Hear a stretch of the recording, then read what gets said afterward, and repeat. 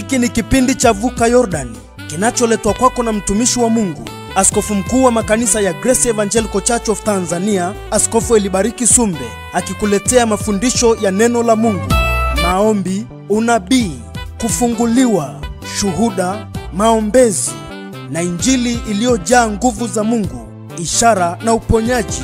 kutoka sasa nakutenga na roho ya mateso nakutenga na roho ya aibu kwa jina la Yesu Kristo. Kila aliyekaliwa kwenye anga, anga lako linafunguka. Naita malaika wenye panga za moto, wenye kulipiza kisasi kwa jina la Bwana. Now I command you evil spirit, get out kwa jina la Yesu Kristo. Yote ni katika kipindi cha Vuka Yordani. Karibu tumwabudu Mungu pamoja ili ujengwe kiroho.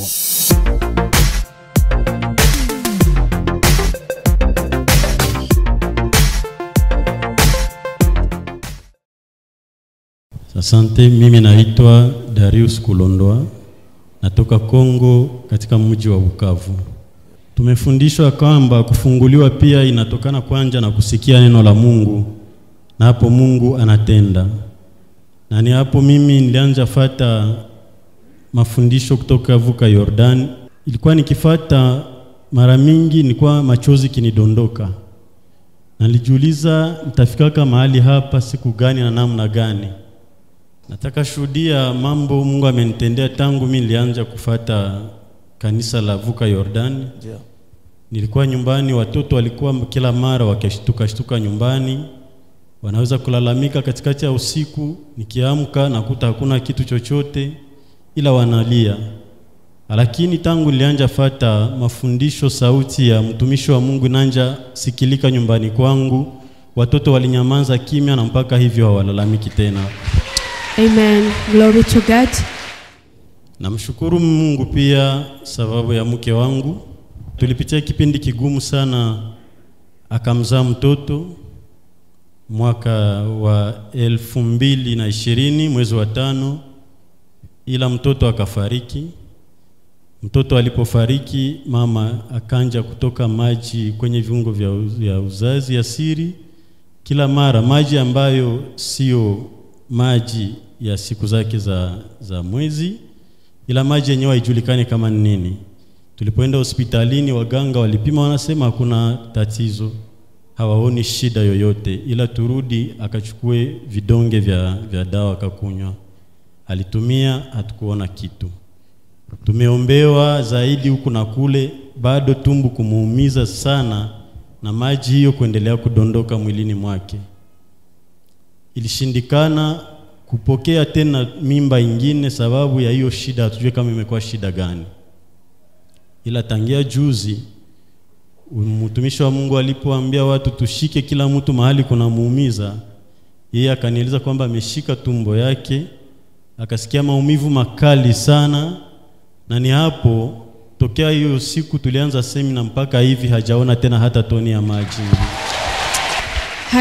Yesu makofi na utukufu. clap for Jesus. For that. Hayo ni mambo sugu au sio sugu? Is those Ni clinical things or not? watu au hayajaumiza watu? Is this a, these things that torment namna hiyo? people? Mungu akubariki sana, God bless you so much. akawatendee mema kwa utukufu do wake good things for His glory. In Jesus Christ's name. Amen. Mpe Yesu makofi. Clap for Jesus. Hallelujah.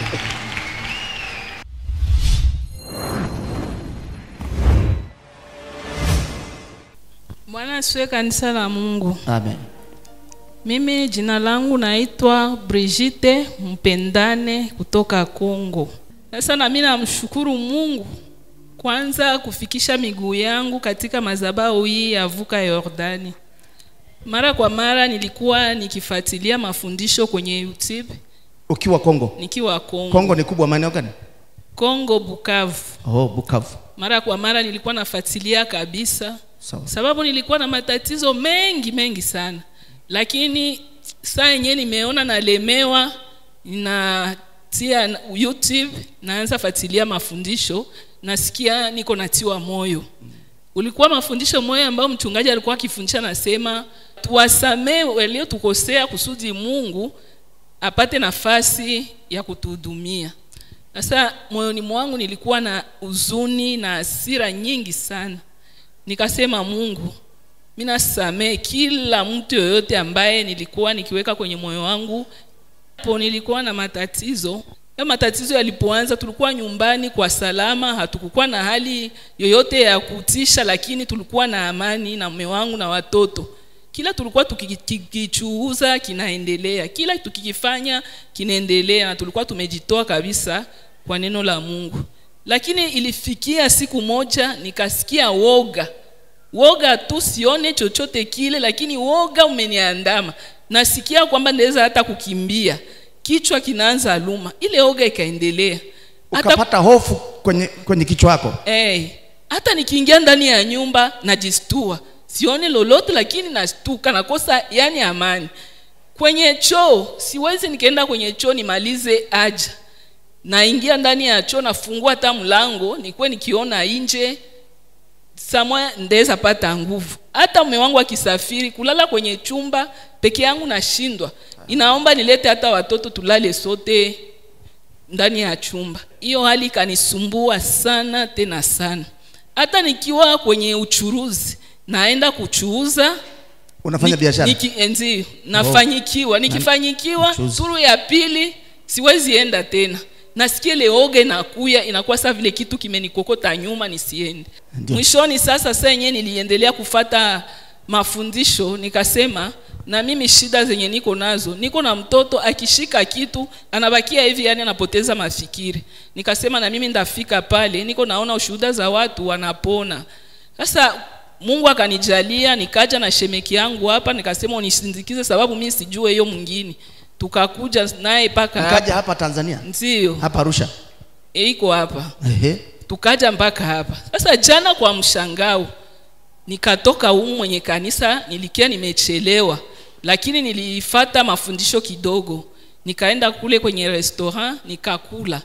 Nilipokula nikasikia vitu vinachanganyisha mtumbu.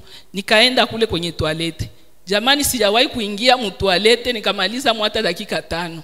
Lakini jana nimeikala nikasema hii woga imeondoka. Nikaanza acha na nikamaliza. Nikasema kwa hiyo ukuogopa tena huko ulipoenda toilet? Mm, -mm. nikajikuta huko kwenye toilet ni mbali tena niko mi moja tu. Ibada watu walikuwa wanaanza aenda kunyumba. Nikajikuta niko mi moja kule nikaangalia jengo liko kubwa. Lakini toilet ya kidogo ya munyumba mi naogopa. Hapa siogopi. Nikajifaa modele yote nikaona siogope nikasema bwana yesu amenifungua. Hallelujah. Glory to God. mungu akubariki sana. God bless you so much. Na familia na with your family. mungu akubariki sana mpe yesu makofi Clap for Jesus. yesu makofi asante sana mungu akubariki mama. Thank you so much and God bless you, ukafanikiwe Mama. na familia yako Go and be blessed na with your family wako. and your children. asanteni sana Thank you so much. amina asante sana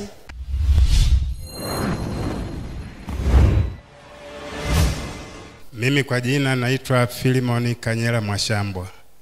Nimezaliwa wilaya ya Mbozi ambao sasa ni mkoa wa Mpwa wa Songwe. sawa sawa Mtumishi, katika familia yetu mimi naona tunalana baada ya kuangalia mafundisho, tuna laana kubwa sana. Nimeteseka mno kwa miaka mingi. Mimi nakumbuka nilikuwa na mdogo kama miaka kumi na kidogo, mwaka tisini hivi. Baba alikuja ndani, akaingia, alimkuta bibi anaota moto. Basi baba bila sababu ya msingi akampiga makofi mawili bibi. Bibi alichotamka alitamka hivi, mwanangu, umenipiga mimi niliyekuzaa. Akamtaja jina akasema Shila. Shila mwanangu, umenipiga mimi, siwezi kulia ila utalia wewe, lakini kulingana na jinsi ulivyonipiga mimi mama yako, nitakapokufa huu mji wote utasambaratika. Na kweli baba alikuwa na uwezo, miaka ile alikuwa na mashine na vigari vidogo vidogo. Baada ya miaka si mingi sana, Ja. bibi aliumwa na kafa. Kweli tukashangaa, mali zikaanza kupotea? Mashine mali zikaanza kuisha, Eh, kuisha kuisha. Cha ajabu sasa, hapakupita muda, hata bibi hajaoza chini, baba akauza yale mashamba, akauza mashamba na nyumba, akaondoka na bibi mdogo, akaenda kuhamia maeneo mengine. unajua kwa nini? Laana ina halali. Si ndio? Eh, hata kama wewe ni mkristo kama imetamkwa ikiwa ino halali shida kama ino halali ikiwa ino halali ndipo utakumbuka kitabu cha mwanzo. Kwa nini shetani hakumwogopa mungu wakati alimkamata adamu na eva? Laana ilikuwa ino halali mungu hakuweza kufanya chochote. Nikahamia mjini lakini ipohamia mjini ukahamia mjini songwe sasa? E, mimi, e, mimi sasa nikaondoka nikahamia mjini wakati huo kabla baba yupo hajafa. Sawa. Nilipohamia mjini kwa muda mfupi sana nikafanikiwa nikajenga nyumba kubwa nikawa naishi nafanya biashara zinaenda vizuri kabisa. Sawa. Muda si mrefu baba alianza kuumwa kuumwa kahangaika hapa na pale. Baba nimemuuguza mimi nimempeleka hospitali mimi. Baada ya hapo baba kufa nikabaki mimi sasa kweli maisha yangu nikaona yanakuwa magumu na mama si muda mrefu naye akafa. Baada ya mama kufa tu nikakuta biashara zangu haziendi vizuri zikawa ngumu nami sasa nikauza nyumba. Baada ya kuuza nyumba nikahamia mji mwingine. Nimefanya biashara nyingi mapikipiki nimeuza lakini vyote vikashindikana vikafa nikabaki kama nilivyo. Eh, kwa sababu laana sinafuata mkondo. Nilipofanya biashara nimalizia nyumba yangu tena nikagongwa na pikipiki. Kuna jamaa alinigonga akanivunja miguu ukagongwa na pikipiki miguu ikavunjika. akanivunja mguu akanivunja hapa akanivunja na hapa kwenye nyonga lakini maajabu mtumishi huu mguu kuonekana kwamba ulikuwa si wa kawaida ulikuwa unawaka moto. Moto ulikuwa unaanzia chini ya unyayo kabisa unapanda naona moto unawaka. Huko ulikovunjikia ndio moto ulianzia Eh, huko. ndio ulikokuwa unaanzia huko. Sawa. unapanda unapanda unapanda mpaka unakuja kwenye kiuno. Moto mkali napiga kelele usiku kucha asubuhi saa kumi na mbili unazima unashuka. Maajabu mengine sasa huu mguu ulikuwa umevimba ni mzito. Mke wangu alikuwa anashindwa kuubeba. Mpaka wanasaidiana watu wawili wanatoa na jasho kabisa. Mguu unakuwa mzito? Mzito wanashi, mke wangu peke yake hawezi kuubeba. Wanasaidiana watu wawili wanaubeba hivi. Huu hapa huu huu huu huu. Wanaubeba alafu nilikuwa natembelea mikono hivi. Basi ndo kidogo wamenishikilia wanalalamika kwamba mguu ni mzito kaa jiwe maajabu ya tatu huu mguu sasa ulikuwa na shoti ya umeme kuna ndugu yangu mmoja alinigusa maeneo ya hapo chini akisema jamani nimepigwa shoti ya umeme Wakasema- akishika hivi anasema nampigwa shoti ya umeme. Eh, wakasema wewe muongo. laana mbaya kabisa hizi. Tukasema si kweli, mguu hawezi ukawa na shoti. Akagusa mara ya pili, akasema shoti imefika hapa. Basi ndugu zangu wakusanyika wote kwamba tushuhudie. Alipogusa mara ya tatu, wengine waligusa, alipogusa mara ya tatu alipigwa shoti mpaka au mpaka kwenye mabega, asema jamani, mkono umekufa ganzi kabisa, na umeme ulilia kabisa ta, watu wakakimbia. Nikarudi hospitali, wakasema basi inabidi huu mguu uende hospitali kubwa zaidi, waucheki vizuri, ndio nenda? Dodoma, eh, nenda Dodoma au Moi Dar es Salaam, wakakufanyia operation kubwa. Huu mguu umeng'ang'ania upande, hawezi kurudi katika hali yake. Lakini mimi nikakataa, nikasema hapana, mguu wangu hauwezi ukafanyiwa operation kwa mara ya pili tena. Mungu atashughulika na mimi. Hivi naenda kwenye madhabahu ya Sumbe, akanishike mkono na namwamini Bwana, najua ataenda kupona. Huu mguu ulikuwa umevimba, mtumishi, wakati nakuja nilikuwa navaa ndala, siwezi kuvaa kiatu. Haikuwezekana nilikuwa kabisa. umevaa malapa Nilikuwa nimevaa malapa ndala, siwezi kuvaa kiatu. sijui kama unaelewa kanisa kitu kwa I hope church you understand what is man is testifying. mguu ulikuwa huwezi kuvaa viatu Nilikuwa siwezi kuvaa kiatu kabisa, unavimba kabisa kabisa, umejaa. Kwanza kiatu kilikuwa hakiingii. Lakini siku ya kwanza ya semina nikasema, Mungu, mimi nimekuja huku Arusha, si kushangaa watu, si kushangaa mji wa Arusha. mi nakutaka wewe Nakutaka wewe Mungu uniponye. Amen. Glory to God. Kwa- hiyo viatu umekuja navyo umeviweka tu kwa mfuko. Niliviweka tu, nilijua nikifika huko kwa hiyo juzi tulipoomba tukamaliza nikatokea mimi mwenyewe nikasema Mungu, leo navaa kiatu kwa kulazimisha, najua nitakaporudi mguu hautavimba tena. kwa hiyo ukaja semina umelazimisha kiatu Nimelazimisha mguu na chechemea, lakini nimevaa kiatu, mguu nauma tena mpaka huku. Lakini usiku niendelea kuomba kwamba Mungu, mimi nimekuja Arusha, si kushangaa watu, naomba unitendee makuu. Mm. Kweli cha ajabu, usiku mguu uliuma, alafu ukakata.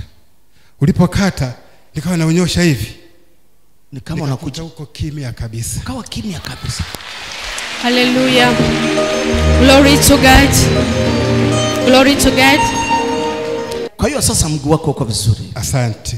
Baada ya kufika asubuhi, nikasema hivi, ni kweli, kwa sababu mtumishi huu mguu nilikuwa hata kuchuchumaa siwezi. Ndani ya mwaka moja na nusu, kama naenda chooni, nilikuwa natumia stuli, siwezi kuchuchumaa kabisa. unakalia stuli Ndio nakalia stuli, mguu na unyosha, ndio nakaa, ndio najisaidia. mateso Lakini asubuhi sasa, ambapo ni jana asubuhi, nimeenda chooni, nimechuchumaa bila shida mpaka Bila chini. shida?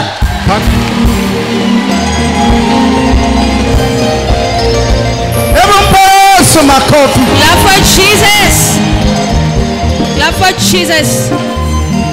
Nani amekutendea haya ndugu yangu Who did all of Ni this Yesu. to you? ni yesu pekee Yes, Jesus. Christ. kutoka hapa si tu amekutendea laana haitakuwepo nenda ukastawi tena zaidi alivyostawi baba yako zaidi ulivyostawi wewe in the mighty name of Jesus. Kwa jina kula Yesu.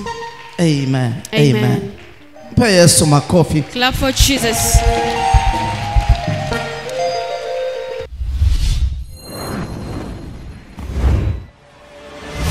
Mimi naitwa Alaipaa Kwane.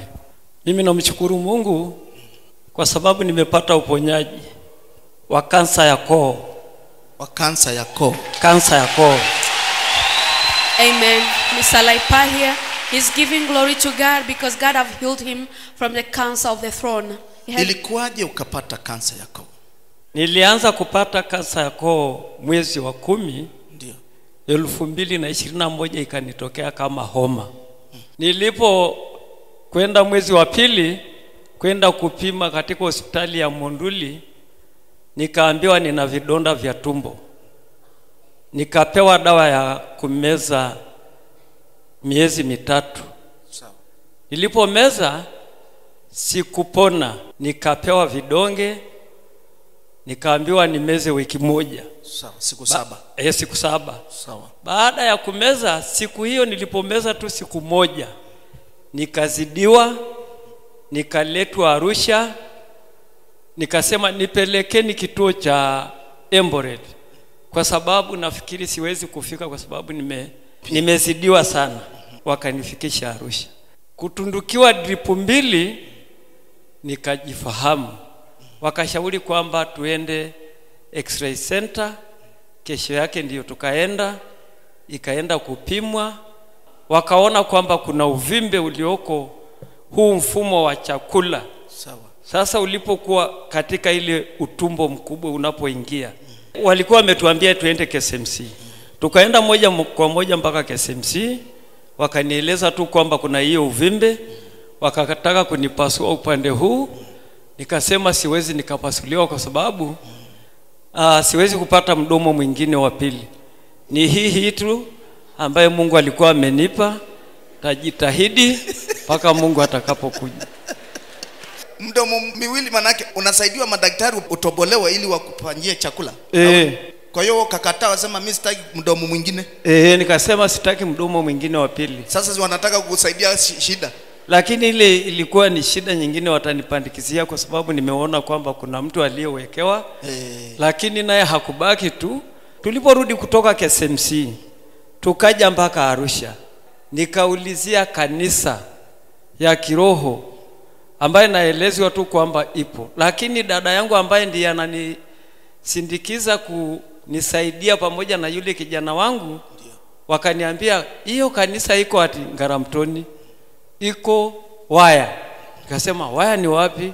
Kisongo. Kisongo. Haya. Twendeni. Tulipokuja ukaja ukaletwa hapa. nikaletwa hapa tarehe ishirini na mbili. Aha. nikakaa nusu saa. Nikasikia kichefuchefu. Nikatoka nje. Kutoka nje pale ndani ya mahindi nikatapika yani nikatapika usaha mkubwa sana.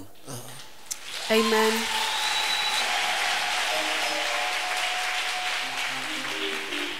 Kwa hiyo baada wakati inaendelea hapa wewe ukasikia ki- kwenda kutapika eh. Ndio katoka nje ya kanisa hapa. nikatoka nje ya kanisa. Ukaenda hapo kwenye mahindi ilikuwa yako hapo. Eh. Sasa kijana ambaye tuko naye akaniambia hii ni nini unayetapika nikamwambia wacha ati mungu anatenda kazi kwa sababu. Sie huoni hii matapisha yaliyoko hivi? Amen. nilipoingia ndani ya kanisa baada ya ibada kuendelea ndio. tukawa sasa tunaombewa ujazo wa roho mtakatifu sasa nimepata nguvu ya kusimama lakini pale nililetewa tu kiti. Ilipokuwa nakaa sasa, ujazo wa Roho Mtakatifu, askofu anapoombea na kushika kichwa, akanishika mara moja, lakini pale sikujisikia. Aliponishika mara ya pili, nikapata nguvu kubwa ya mwanga wa jua yenye upinde. Amen. Glory to God. ukaona mwanga mkubwa mwanga mkubwa wa jua. baada ya hapo Baada ya hapo sikujifahamu tena mpaka nashtukia na umeletwa huko niko hapa napelekwa sasa huko ninapokwenda kukaa. ndio Na siku hiyo ndiyo nikapata nguvu ya kuweza kusimama, nimepona, sijisikii tena maumivu. yesu amekuponya Mungu akaniokoa. Amen. kwa hiyo unamshukuru mungu amekuponya. Eh, namshukuru Mungu ameniponya. ndio na ndiyo sababu sikuenda tena nyumbani wiki hii yote nikisubiri kumpa Mungu shukurani kwa ajili ya kuniponya. Naona mshukuru Askofu Elibariki Sumbe kwa Mungu kumpitia kwa ajili ya uponyaji wangu pamoja na kanisa kwa ujumla. Nawashukuru sana. Amen. umekuja na nani baba Nimekuja na dada yangu na kijana wa baba yangu mdogo. oh, ndio uko nao? Eh, ndio niko nao. wako wapi hebu hebu njoni hebu mpe yesu makofi wanapofika. Please clap for Jesus.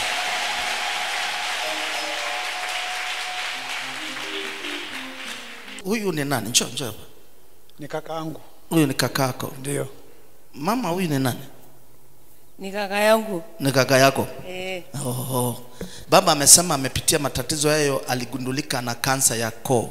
Na e, mkawa mnamshughulikia ni kweli? Eh, na ikuli chakula. Mungu siku hiyo ambayo amekuja kanisa amekwenda kula chakula alipotoka kanisani baada ya kufunguliwa kutapika na ile saa akaenda kula chakula. Anaenda kwenda kula chakula. Mpaka sasa hivi ndio anavyosema yuko vizuri mungu amemponya. Eh, kweli. Oh, mungu awabariki sana. God bless you so much.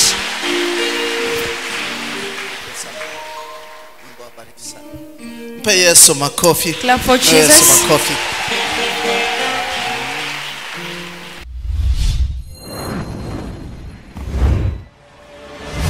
Bwana Yesu asifiwe.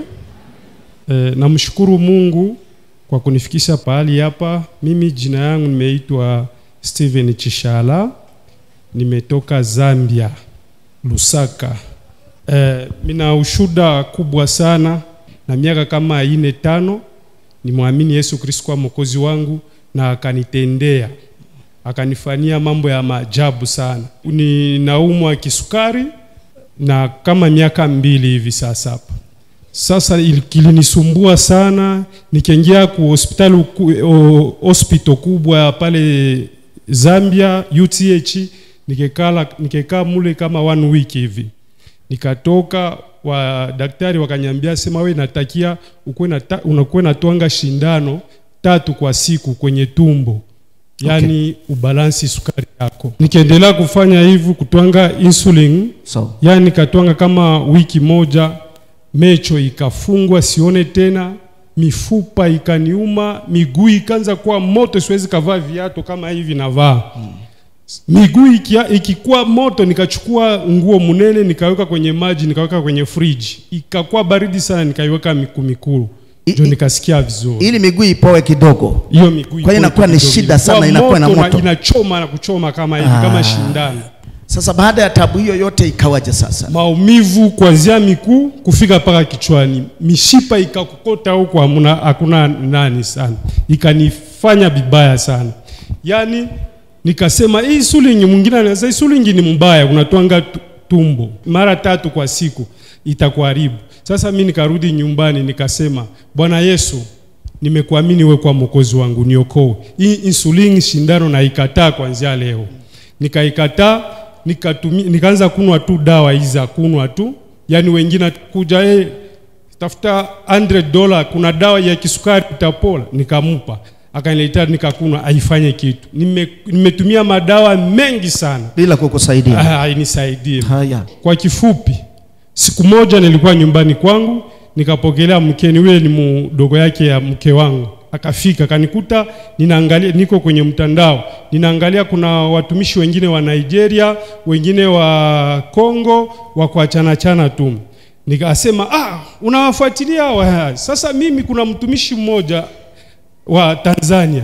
Yeye ameitwa Skofu ilibariki Sumbe. Naye ah, ni waajabu, anahudumia sana. Nasema kweli eh. Akanitumia ka notification asema ingia tu kasema Elibariki Su kaandika Elibariki Sumbe itakuja. Nikaendelea kufuatia kufuatilia wale wengine nikapata mwingine akanyambia sema u, nitakuombea utapona unitumie 100 dollars. 100 dollars? 100 dollars. Haya. Takuombea utapona. Ili upone. Eh, nikatuma nikatuma kwanza kamwambia saa "Ah, hapa nina 50 nitatuma 50 dola yani 50 dola nyingine nitatuma baadaye akakubali. Nika- nikaenda Western Union nikamtumia ule mtumishi wa Kongo 50 pakipita tena masiku ingine akani- nikamtumia 50 akakuombea? Akaniombea aifanye kitu.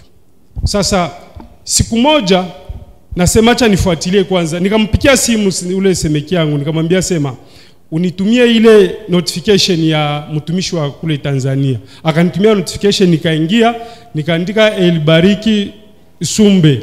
Ikakuja ika- ikakuja nikaanza kufuatilia nikafuatilia mengi mengi mahubiri mingi sana kwenye mtandao.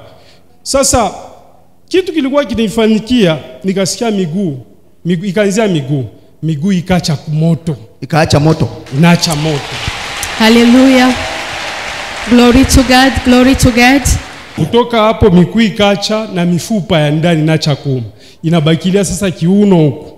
Kiuno kutokea hapa inapita kufika huku kichwani yaani a nguvu hamna nguvu hamna meisha yote. Sasa masiku tena kidogo nikaendelea na kufuatilia hiyo nikasema "Ah, huku ina- nikamwambia mke wangu mke wangu njo ona kwanza. Ah huyu ameonekana naomba Mungu wa vya kweli.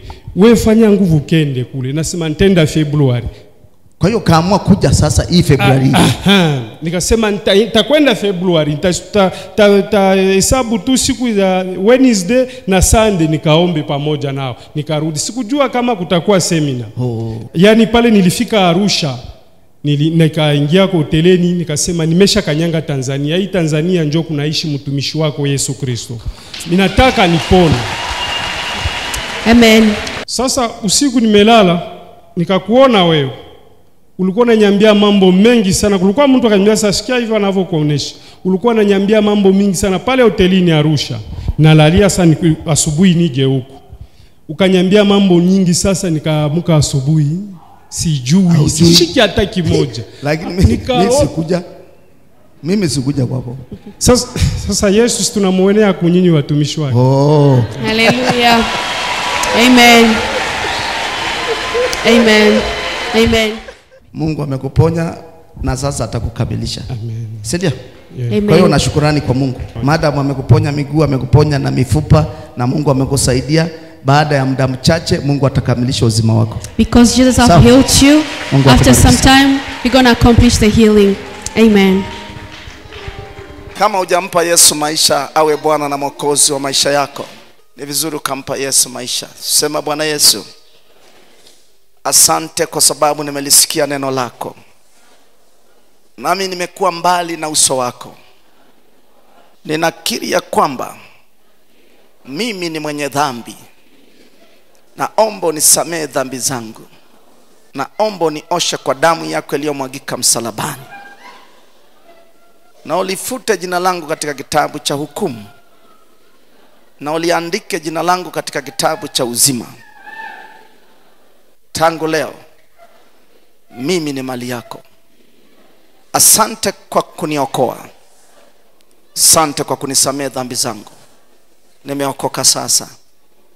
Amen.